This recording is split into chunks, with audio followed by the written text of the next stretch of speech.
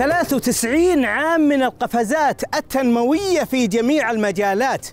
الحياتية سياسيا واقتصاديا واجتماعيا. ويتزامن احتفال المملكة العربية السعودية بيومها الوطني مع عبور الشمس لخط الاستواء فهي تعبره يوم 20 أو 21 أو 22 والأغلب 23 سبتمبر. ويتزامن ذلك مع أول برج الميزان في كل عام. لبيت تخفق الأرواح فيه أحب إلي من قصر منيف فما أبغي سوى وطني بديلا. فحسبي ذاك من وطن.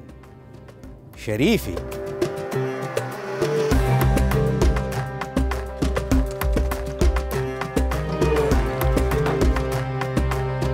وفي اليوم الوطني السعودي تكون الشمس عمودية على خط الاستواء بعد تعامدها على مدار السرطان ومدار السرطان يمر على السعودية. وللمعلومية الشمس تعامدت على مدار السرطان قبل 90 يوم ويعود تاريخ اليوم الوطني السعودي إلى اليوم الذي حول فيه المؤسس الملك عبد العزيز. الله يرحمه اسم مملكة الحجاز ونجد وملحقاتها إلى اسم المملكة العربية السعودية وذلك في يوم 23 سبتمبر عام 1932 ميلادي. الموافق 17 جمادنا الأولى 1351 هجري. وطني لو شغلت بالخلد عنه نازعتني إليه في الخلد نفسي. شهد الله لم يغب عن جفوني. شخصه ساعة ولم يخلو.